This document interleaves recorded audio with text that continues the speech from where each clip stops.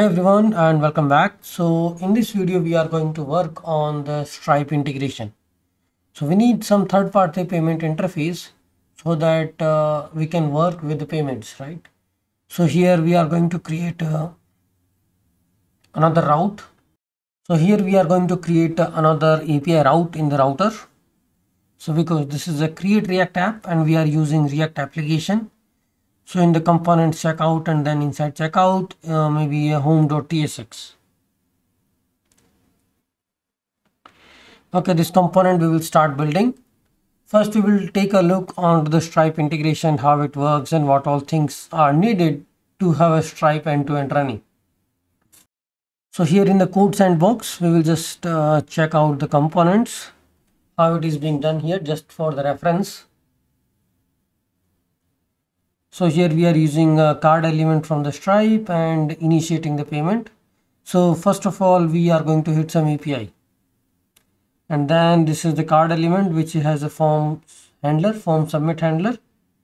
Once you submit the form, that means we need to now process the payment.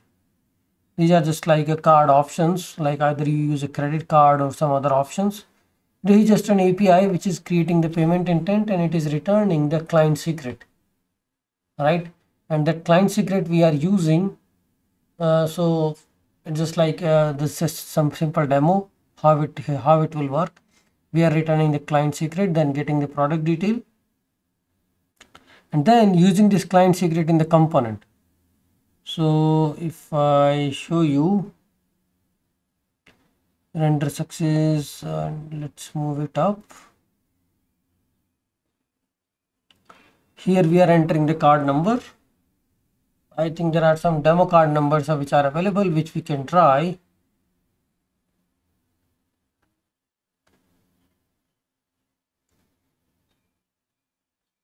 So the demo card number for the credit card I think it should be 4242 uh, that the that stripe should be able to access and should be able to allow you to process okay and I can just do the payment. Enter the zip code and pay. Okay so this is how the real processing will work. Now if we try to see the code so what we are doing here is this is a stripe element. And what how we are integrating? First we are import first we are importing the libraries like this stripe uh, react stripe js and stripe js these are the two libraries which we are adding to our front end React because this is all about the combination of both. First of all, we need to get the publishable key and the secret from the Stripe. So that is easy. You go to uh, Stripe and then just do the login and get the, the secret, generate your secret so that you can use the payment interface. If you really want to use for your production application, then you need to submit your text document. You need to complete your profile, verification process and all because you will start getting the payment and you are registering as a vendor. So you need to get an approval end-to-end -end approval. Here we are just using a test account and just a test secret key. So here first we will just uh, import of these two libraries and then we will do the load stripe. Load stripe requires uh, the key publishable key eh, will be passed to the front end okay? Because this is not a private secret key that we are going to keep at the server side. This is the publishable key. You will do a load stripe and you will pass the key. So this will load the stripe SDK for your front end React component. Okay, now you will just do a payment card like you might be using a card element and you will just allow user to enter the credit card information and submit. But before that, you need to get the secret secret from the server side. So here we are going to make an API at the server side, which is let's say the create payment. I mean, API can be anything. The, the, the important matter here is we should be able to create a payment intent and return the secret from the server side. So here there can be a API like API v1 payment, create payment, create payment in the JSON object will return the payment secret, Stripe secret, right? So it will just create a payment and it will create a payment intent. A payment intent object contains the secret. And the same secret will be used by our front end React component. You can see the load stripe and this is the client secret. and all sort of stuff will happen here you can see the handle submit so when you handle submit form after entering the credit card then you are doing going to do this first you will check the the credit card element card element is there then at the line 18 you are actually checking the con you are doing confirm payment and here you are using the secret key. Okay you are registering the secret key. So this is the end-to-end -end flow. We are going to follow the same process of doing it. So these are some of the examples like okay if you are using card element or any other payment mode then we will do it like this. So this is the payment service that will con that will give you the response. Now uh, we already have this structure uh, already created in the payment service. We will start adding the required library for our front end. So here pnpm add stripe uh, stripe react.js or stripe.js these are the two libraries we will be adding for our components so this is a stripe.js and then there is i think another uh, package we need to add is a stripe react.js or react stripe.js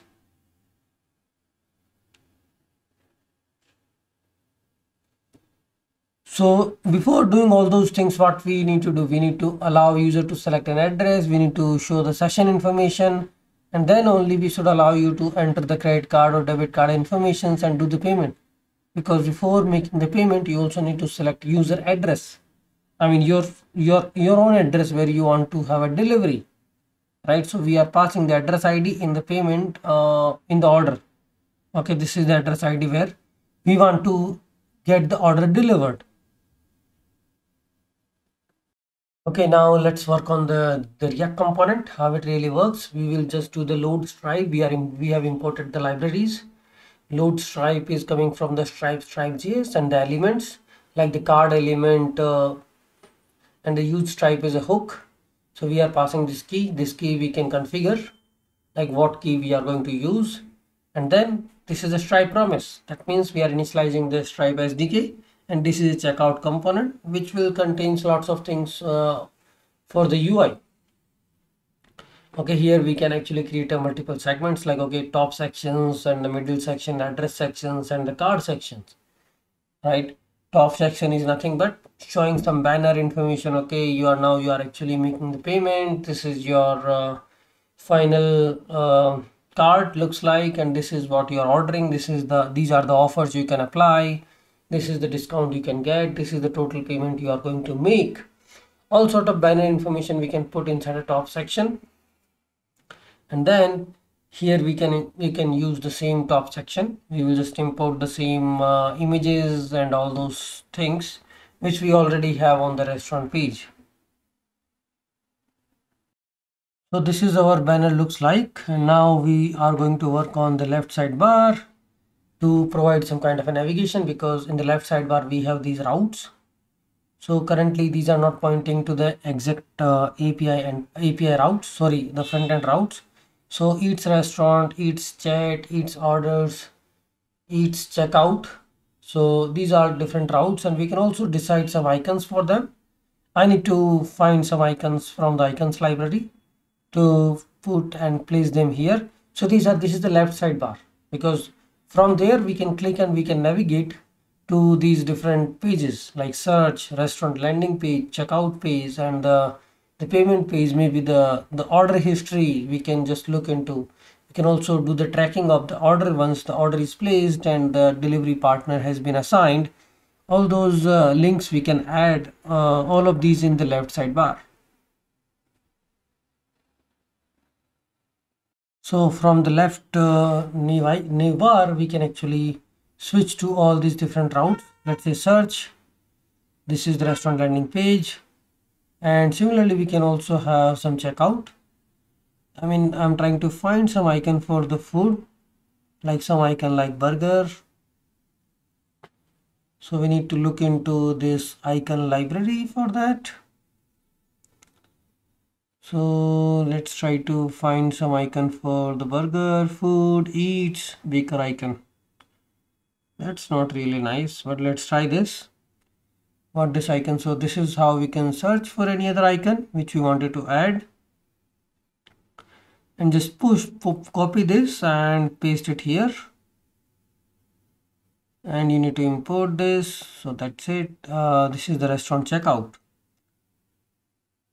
So this is checkout. That's a restaurant landing page. And then similarly we have a search home page. All these icons we can just explore and we can place them so now here this is chat this is the restaurant this is the payment this is checkout. All those things are there. It's just like we need to fill all these pages. Currently we are working on the checkout page after the restaurant landing page. So so how the checkout page looks like? Now how, how the structure will look like? In the top section you can just show the email and the session information here you can allow user to select the address and here in the bottom you will show some card information where user can select a payment mode. Okay uh, you can you can do the payment using card using upi using net banking using paytm wallet and all those stuff.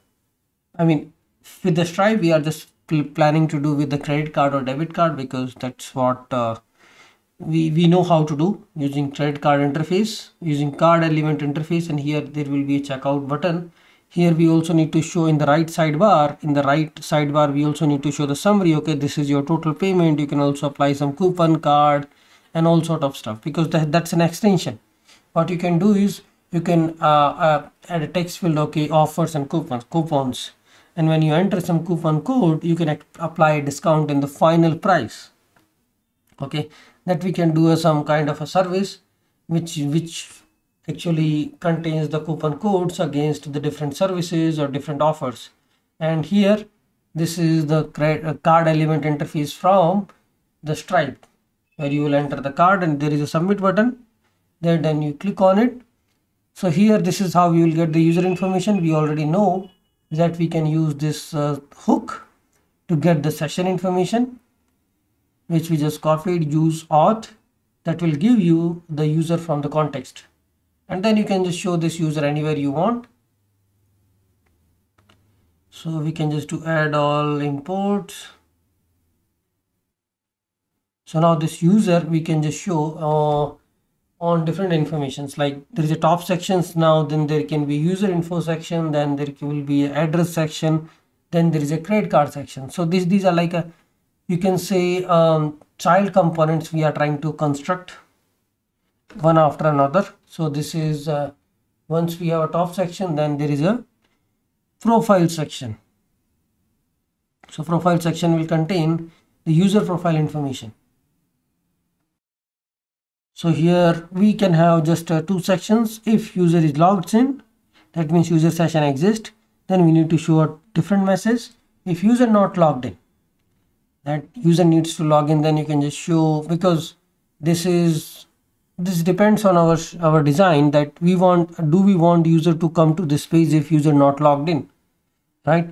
User can come by just navigation but if uh, user not logged in then we are just not going to show the session information. We can just show some buttons okay do the login and then start adding items to the cart and then you can come to the checkout section because currently you are not logged in. Maybe in some food food uh, delivery platform they allow you to check out even you are not logged in. And when you are doing a checkout then they will ask you to the login first like before selecting the address and before adding the payment informations and all. It's all about okay let them uh, browse the sections and then once they are agree agree with the payment then only allow them to login. Otherwise if you just put the login in front then they can't do anything and they will just skip your platform. They won't even look at it so it's a logged in user session that uh, here we can print okay what is the username and the email and the first name last name um, join that and all sort of stuff we can we can put. We already have a user session object so that we can use to show the information about the user. So that is the first is the user session information. Then second we are going to keep uh, so this is the first is a user session. And second is the profile section top section profile section that is if else if user is there show the user information otherwise show the options to the login and assign. So this is the profile section and we are passing the user object which we got from the session. Now third section we are going to create a saved address section and we are going to pass the address array. So we already have the address apis in the the user service. Like you logged in you can create your multiple address. There's a simple form we can create you can create your address and you save it and then if you want to fetch them you can fetch it. So we can use the postman to create some addresses so that we can populate those addresses on the address section. So here uh, from the parent component we will get the address as an array and now we can just iterate. Iterate means we can just loop on to the addresses and show the addresses in a child component where we can show simple address card so that user can actually do the checkbox or can click on to that okay this is my selected address uh, to which I want a delivery right? So that's a selected address ID we also need to pass while creating the order and doing the payment. So we need to have the selected address object maybe in the redux state okay this is the selected address and now you can actually start add, adding the payment informations and do the payment. So next we are adding a card section because uh, after the address section we need to show the card. This is the card component and in the card we can show okay we support all the different cards like credit card net banking debit card uh, or a upi or different kind of a wallet. And then we can just enable only the credit card sections where you can actually do the payment using stripe interface. So this is the card section and inside the card section we can just put some same same set of blocks and then we can just provide a different buttons okay you can do the payment with the different different platform different modes you can see so we can copy the same header and then uh, put the body content like uh, you just put the different body content inside it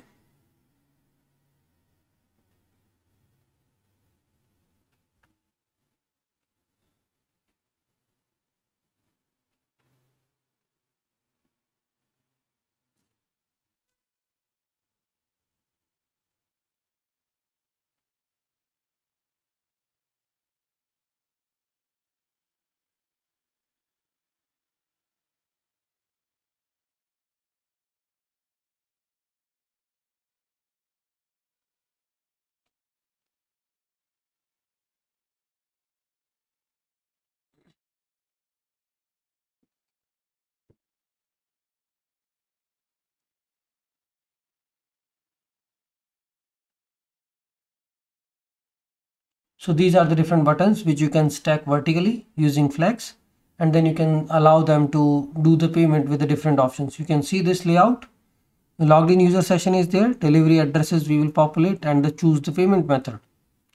Payment method is currently these are not coming as a vertically stacked so we can just check the layout how they are arranged. So here I think we need to have a flex flex column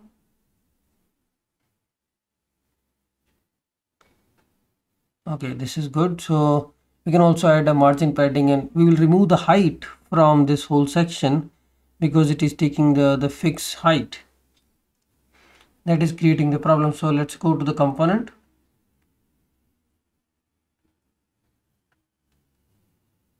Okay so so we just added uh, some styling and now it is fixed. We can just remove the height so that all the buttons can come vertically.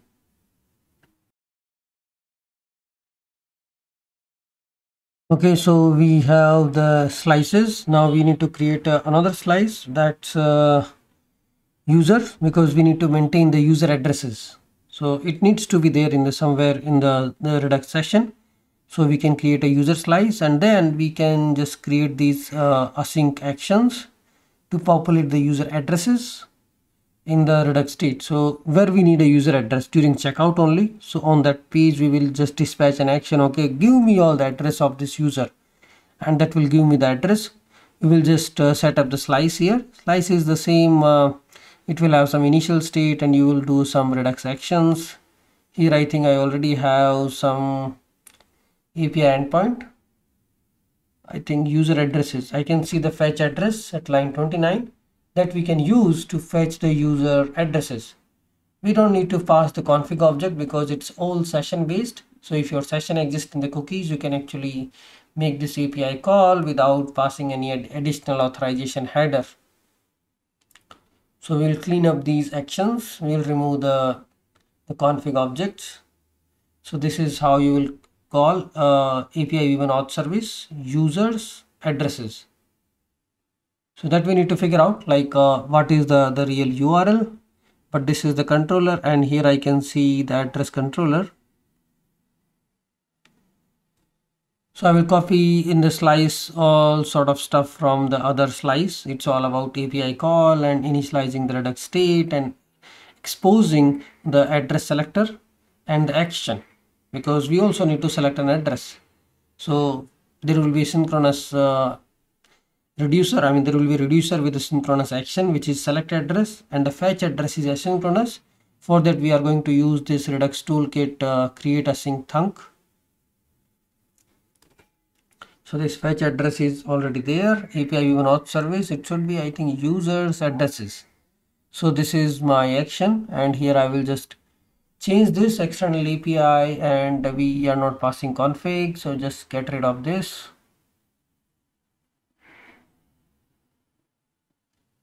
create async thunk. This is fetch order and fetch addresses because i'm just doing both here because we also need to fetch the addresses fetch the orders also the historical orders which the user has placed because orders also contains all sort of information okay what all you have ordered to which address and from which restaurant. All sort of information you can populate on the front end based on uh, restaurant id and the order id so here this is my initial state addresses and the selected address and the orders. Selected address is an object. Address contains the data and the orders. And now I have some these API calls asynchronous actions like uh, fetch address create address. So create address also I need to add currently I have fetch order and fetch address so we can also do create address and I'm just I'm just taking care of the fulfilled promise. Because either you can have a fulfilled rejected and pending. These three different state and all these different state you can also populate in the redux state. Like in the redux state you can just set okay loading true. Then um, pending loading true and success loading false. All sort of animation you can do with this uh, actions and here create address. That means you will be passing some payload. Fetch address no payload. And fetch address no payload you are passing. And uh, I already have this okay selected address selector user address selector and the user order selectors. We are just returning these orders and addresses from the redux state. These are the selectors and then there is one action we have which is select address. And all those things we are going to expose to our component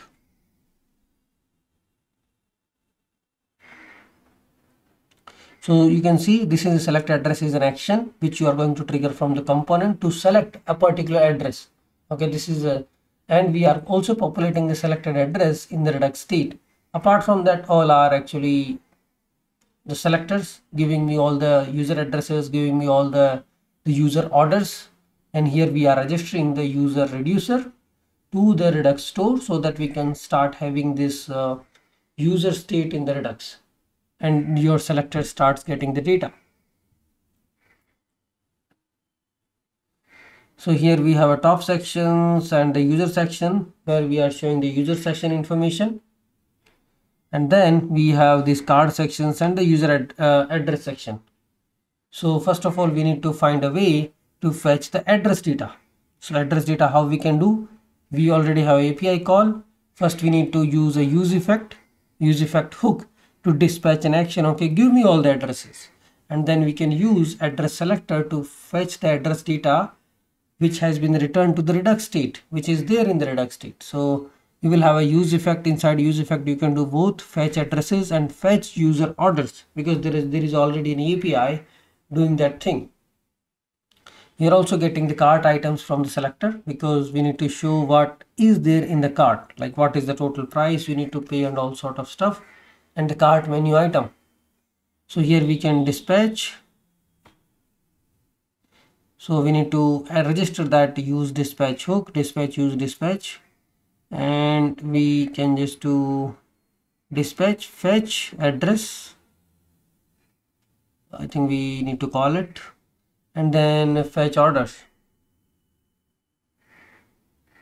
Fetch cart items. Uh, that is also fine because uh, let's say in this checkout we don't have the redux state uh, how we will populate the cart items in the redux state right? If there is a right sidebar that's already making a call to fetch the latest cart items and populating that in the redux state so that's fine. Even if you skip it here we will have the cart items in the redux state and from that we from there we can do it.